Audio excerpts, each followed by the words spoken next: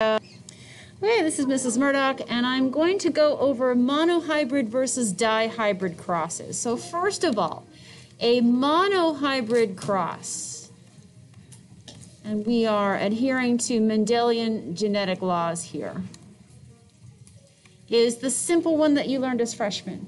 That means you are crossing a, genes for a single trait, and each trait is represented by two alleles, right? So it would be, for example, if you had two parents and they were both hybrids, you have a monohybrid cross. So that's very simple. So you do a Punnett square with four boxes and you're following the laws of segregation. Each parent goes across the top and the side. That's the way I do it and you separate the alleles for one parent here and for the other parent there. And then when you fill in the boxes, you get this genotypic outcome. And then if you were doing the phenotypic outcome, phenotypic outcome, it would be three uh, dominant to one recessive individual, right? Because three dominants are, are showing and one recessive is showing. And I'm kind of doing this quickly because I think that's not the hard part here, okay? So I'm going to go down and now we're going to talk about a dihybrid cross. So with the dihybrid cross, I need a lot of space here. Dihybrid cross, now you're crossing two different traits with two alleles each, and both parents are heterozygous for both traits. So what that looks like, I'm just using A's and B's here to keep it simple. That looks like this. Here's one parent that is a dihybrid for those traits, times the other parent that is a dihybrid for those traits. So if we're following Mendelian law here and we're going through segregation and independent assortment for these letters, you're going to have a, lot, a much bigger Punnett square to deal with here. So the Punnett square in this case is going to be 16 boxes instead of just four because you're handling the segregation and independent assortment of two sets of alleles instead of just one set of alleles.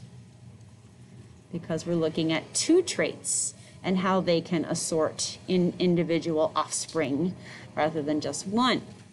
So now the question is the gametes that go across the top here and down the sides here, right? The diploid number of the parent is four. So the haploid number of the gametes is going to be 2. So each gamete is going to have two letters. But now we have to show the independent assortment that you were showing me the other day with your chromosomes. And you guys remember your algebra a little bit? Remember FOIL? First, outside, inside, last? You can use it here to show the different pairings that you can make with these four letters. So first, there is one gamete that could come from this parent. Outside, there's another gamete that comes from that parent. Inside, there's the next gamete. And the last possible gamete is going to be two recessive letters, right? That's how you do that. Down the side, since the parents are the same, these gametes over here are also going to be exactly the same. This is a classic dihybrid cross. Not all crosses have exactly these letters. Not all crosses that, that cross two traits are called dihybrid. They're only called dihybrid when both parents are heterozygous for both traits. You see, it's not always true. Uh, for some crosses, maybe maybe this parent will be all dominant letters, and maybe this parent would be all recessive. Then it's not a dihybrid cross. It's just a two-trait cross that you have to figure out, right? But to do this, then what you do, when you're filling in boxes, do yourself the favor of always putting the capital letters before the lowercase. In this case, it doesn't matter, they're all capital, and keep the letters for each trait together. They're easier to interpret later if you do that, right? So if I go down here, I'm keeping my A's in front of my B's, and then I'm keeping my lowercase second, not first, right?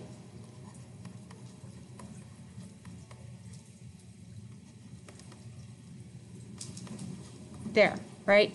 And if you fill all of those in, so each possible offspring has the renewed diploid number, right? Um, and if you fill all of those in, do you want me to fill them in? it was like, ah. okay. Um, so, yeah. Oh, geez. No, now I'm going to start messing up because I haven't had my coffee. there we go. Okay. If you did fill all of those in, um, since this is a classic uh, dihybrid cross, there's already a phenotypic outcome that you may recognize. Your phenotypic outcome um, is 9, 3, 3, 1. You may remember those numbers. Maybe you remember that ratio. It's a very famous ratio. It only happens when you have a classic dihybrid cross like this one, two heterozygous, and Mendel laws being followed. Right, so both of those things have to be true for you to get this. So if you know that there's nothing funky going on like gene linkage or anything like that, and if it's a classic dihybrid cross, you don't even have to do the Punnett square. You can just assume, oh, the phenotypic ratio is this. Phenotypic is you're going to have nine individuals that have this, both dominants. Three that have one that's, that's recessive and the other dominant. Three that have one that where the other is recessive and the other is dominant. And one that is completely recessive. One little guy. This one right here, actually, is the one where that one possible 1 16th of an offspring is going to have both recessive traits shown. Okay? So that's how you do a, a cross with two traits. And that's how it differs from a cross with one trait. And if it's a classic dihybrid cross, this is always going to be your phenotypic outcome, meaning the physical traits will be nine of your possible babies will show both dominant traits. Three of them will show one dominant and one recessive trait.